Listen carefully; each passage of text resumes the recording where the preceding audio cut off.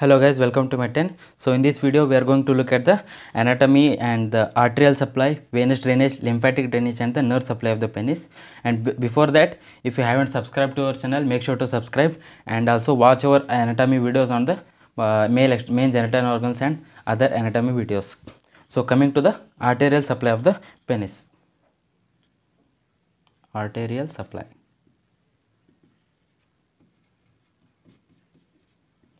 So what are the principal arteries that are supplying the penis? The penis is supplied by the four pairs of arteries. Four pairs. What are the four pairs? The first one is the deep arteries of the penis. Deep arteries of the penis. And then we have the dorsal arteries of the penis. Dorsal arteries.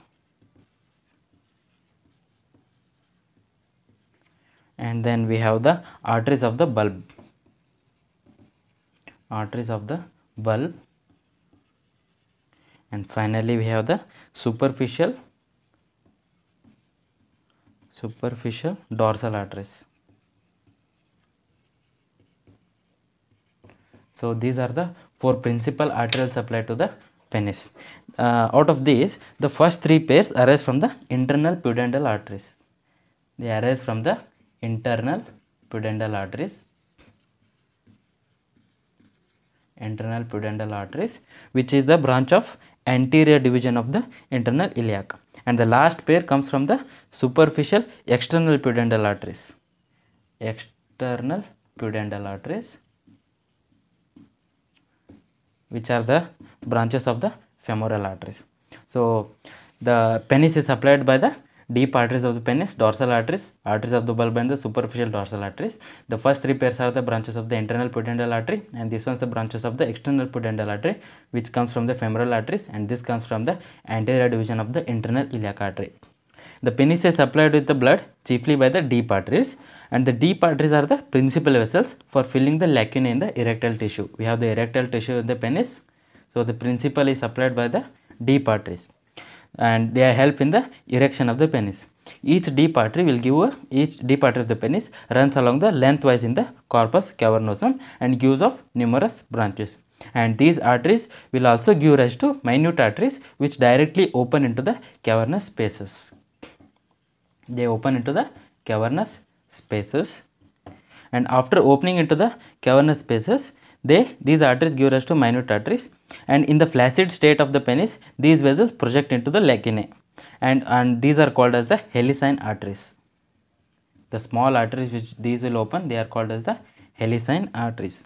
The dorsal arteries run on the dorsal aspect of the penis and they supply the glans penis and the distal part of the corpus spongiosum.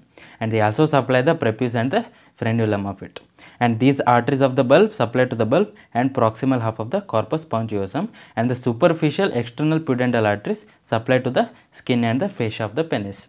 So this is uh, to be noted. So coming to venous drainage of the penis. Venous drainage.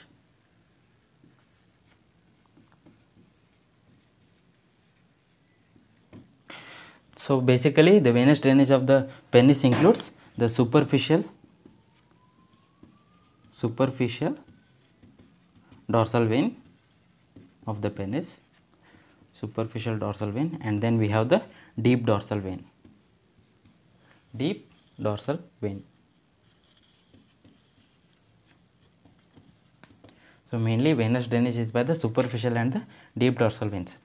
So the main veins carry uh, they are contrary to the arteries and are unpaired and they lie in the superficial they lie in the Uh, they are separated from each other and they lie in the superficial fascia. So the superficial dorsal vein it is situated in the superficial fascia on the dorsal aspect of the penis and it is in the midline. Proximally it will divide into the right and the left branches which will drain into the superficial external pudendal veins. So these drain into the superficial external pudendal veins.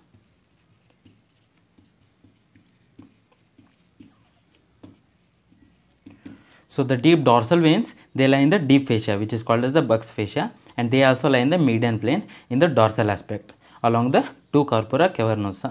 So the deep vein drains into the drains the venous blood from the cavernous tissue and it will pass into the prostatic venous plexus. prostatic venous plexus. So this is about the venous drainage of the penis.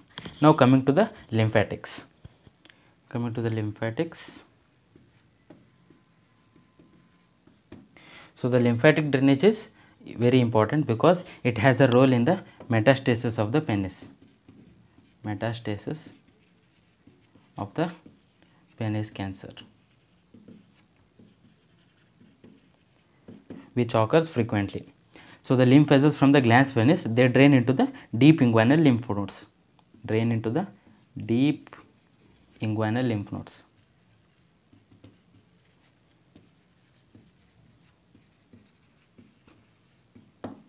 They drain into the deep inguinal lymph nodes, especially into the lymph node of Cloquet. Lymph node of Cloquet, which is situated in the femoral canal. What is femoral canal and the femoral sheath? We have discussed in our another anatomy video. Make sure to watch it. So this is about the lymphatics. They mainly drain into the deep inguinal lymph nodes and also the lymph node of Cloquet which is situated in the femoral canal. And these lymph nodes are very important because they they come in the metastasis of the penis cancer. Now coming to the nerve supply of the penis. So coming to the nerve supply of the penis, under nerve supply we have three headings, the sensory innervation, motor innervation and the autonomic innervation. Under sensory innervation, it is mainly from the dorsal nerve of the penis. Dorsal nerve of penis. And it is also supplied by the ilioinguinal nerve. which is from the L1 segment. So this is about the sensory innervation. Coming to the motor innervation, motor innervation is by is by the perineal branch of the perineal branch of pudendal nerve. Motor innervation is by the perineal branch of the pudendal nerve. Under autonomic, it is by the S2, S3 and S4 inferior hypogastric plexus. hypogastric plexus which includes the S2, S3 and S4 spinal segments they supply the autonomic innervation. So it has the three sensory motor and the autonomic uh, inner supply.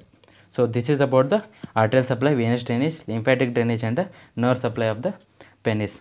So thank you guys, thank you for watching till the end. If you haven't subscribed to our channel, make sure to subscribe and hit the like button and ensure that you share it to your other friends and learn more about the anatomy. Thank you so much.